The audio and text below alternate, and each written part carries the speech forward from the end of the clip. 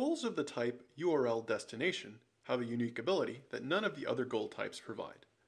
Beyond being able to define a target URL for a goal and a value achieved when that goal is reached, URL destinations can also define and track the intermediate URL destinations called steps that must be traversed to reach that goal. You can even specify that you only consider a user entering the funnel if they have passed through the first step in the funnel, so that users who skip to intermediate steps in your funnel are not counted. Let's look at a conceptual example derived from the sample website. Say we have a bunch of visitors arriving at our landing page. We are interested in defining a goal for how many of them actually sign up. We can say a user has signed up when they have viewed the thank you page. Therefore, in our funnel, thankyou.html is the goal URL destination, with landing page HTML being the first step and the second step in the funnel, respectively, is signup.html. For our purposes, we can, but are not forced to, say that visitors only enter the funnel if they have entered with landing.html. As visitors progress from landing HTML to sign up and finally to thank you, we call them conversions. In this case, because they've gone from ordinary visitors to paying customers. What we have created here is a funnel that visitors must flow through, much like the funnel you might use to fill your car's oil. Some visitors might lose interest and abandon the funnel, but hopefully we see visitors coming out at the other end having completed the goal as conversions. Naturally, your goal as a website operator is to build funnels that lose as few potential customers as possible. This tracking of funnel activity is best visualized using the funnel visualization and goal flow reports that Google Analytics provides. In fact, the funnel visualization report looks remarkably like this conceptual funnel. We'll look at those reports next. Let's start with the end goal in mind, looking at the funnel on the sample website, then looking at the result in the sample report in Google Analytics, and finally how we configure that funnel within Google Analytics. So let's say we have users arrive at our free trial landing page.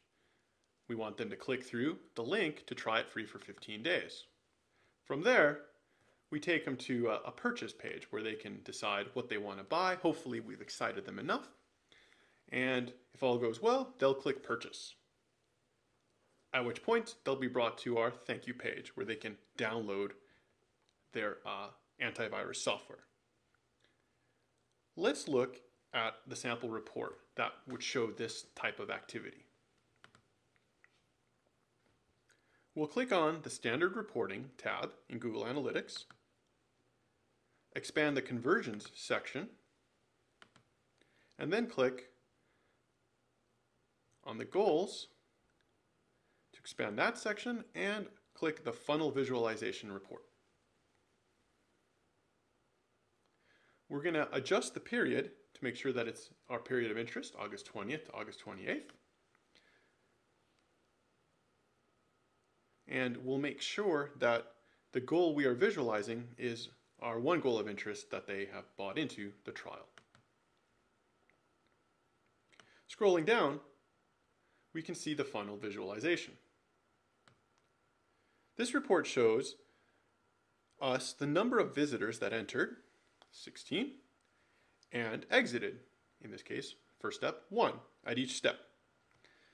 And the number of those that move on to the next step. So for this first step, 15 of them moved on.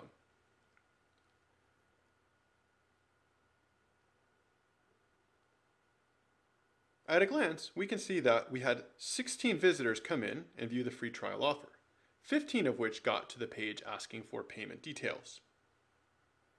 And then all 15 of, the, 15 of them actually bought the free trial. At this, as this goal is one very useful metric, you'll notice we had a 93.75% funnel conversion rate. This means from start to finish, 93% of visitors are buying based on our free trial offer. This is a phenomenal conversion. Perhaps a little unrealistic, but phenomenal nonetheless. So let's look at how we configured this funnel in Google Analytics. From the Admin tab, we click on the Goals tab. Here you can see the four goal sets and any of the 20 goals you may have defined across them. For new goals, you would click on the plus goal link. But since we've already defined the goal, we'll click on Buy Trial to explore how we configured it.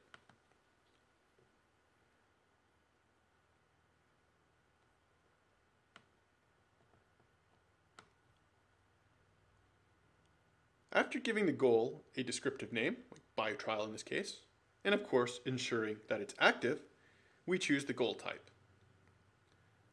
Because we want to define a funnel, we must use the URL destination type. Below that, we specify the URL of the page that when reached indicates a goal completion. So that's why we entered slash thankyou.html. Beneath that, we specify a match type of head match, which means that the goal is any access to the URLs that start with thankyou.html. This is typically the option selected as it ignores any additional query string parameters that might follow the page name in the URL. Other options are available, we'll stick with this one for now. We'll leave the comparison mode to case insensitive by leaving ch this checkbox unchecked, and we'll leave the goal value set to zero. Now we're ready to, define, to start defining the goal steps within the funnel. First, we check the Use Funnel checkbox. For step one, we enter freetrial.html in the URL column and a descriptive label to use when displaying the goal step in reports under the name column. In this case, the URLs for our steps will use the head match type because that's what we selected in the preceding setting. By checking the required step checkbox on line 1, we are ensuring that this funnel only counts visitors who reach the thank you page by having started with the free trial page. To add step 2, we clicked the plus goal funnel step and added the URL for checkout.html and another user-friendly name for the step, clicking Save, we now have our goal in place, complete with all the necessary steps defining the funnel. Now, there is another report that shows a similar visualization of your funnel. It's the goal flow report. Going back to standard reporting, expanding conversions, goals, we click on goal flow. This report shows the number of page views as opposed to visitors at each step in the funnel. It is particularly handy because it can show the many circuitous routes people might actually be taking as they explore your website.